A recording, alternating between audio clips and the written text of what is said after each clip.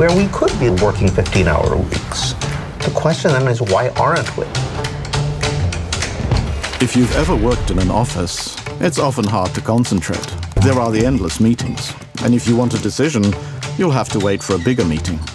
And you remember the time when you had one boss, but now you have two, or three, well, many.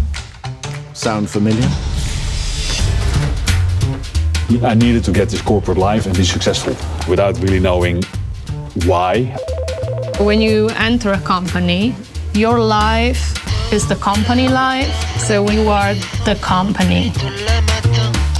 Why am I having panic attacks? So your social perception is that everybody is smiling, happy, doing fine. So why am I not capable enough? Actually, sometimes felt that it would be easier if I would be hit by a car.